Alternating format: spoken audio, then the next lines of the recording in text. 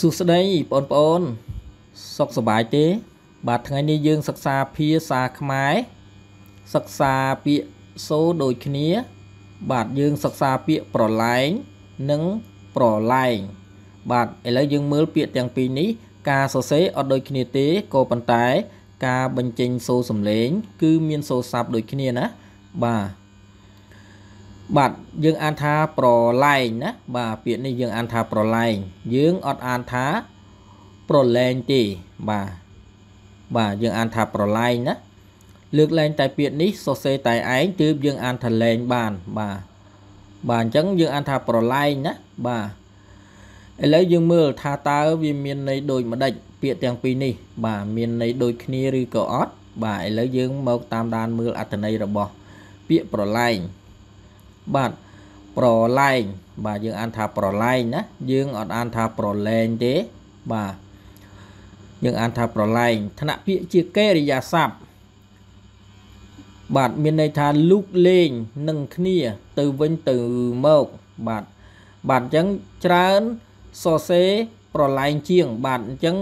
ភាកច្រើនគេច្រើនសរសេរពាក្យនេះណាពាក្យប្រឡែងនេះបាទជាងពាក្យ ប្រឡែងនេះណាបាទភាកច្រើនគេសរសេរពាក្យប្រឡែងនេះជាងគេបាទបាទឧទាហរណ៍ក្មេងប្រឡែងលេខគ្នា បាទក្មេងប្រឡែងគ្នា បាទប្រឡែងប្រឡូកឬប្រឡូកប្រឡែងប្រឡែងបូកលោកគ្នាច្រើន បាទបាទអញ្ចឹងពាក្យទាំងពីរនេះ គឺយើងសរសេរបានទាំងពីរណា បាទអត្ថន័យដូចគ្នា បាទពាក្យទាំងពីរនេះ យើងសរសេរមួយណាក៏បានដែរយើងសរសេរពាក្យប្រឡែងក៏បាន បាទពាក្យនេះក៏បាន ហើយយើងសរសេរពាក្យនេះក៏បានដែរណាប្រឡែងបាទយើងសរសេរពាក្យនេះក៏បានដែរបាទភាគច្រើនគេច្រើនតែសរសេរពាក្យប្រឡែងនេះជាងគេណាបងប្អូនបាទបាទអញ្ចឹងពាក្យប្រឡែងបាទបាទឋានៈពាក្យជាកិរិយាសព្ទលូកលេងនឹងគ្នាទៅវិញទៅមកបាទ ភាគច្រើនគេច្រើនតែសរសេរពាក្យប្រឡែងនេះជាងគេណាបងប្អូនបាទក្មេងប្រឡែងគ្នា ប្រឡែងប្រឡូកឬប្រឡូកប្រឡែងប្រឡែងបូកលោកគ្នាច្រើនបាទ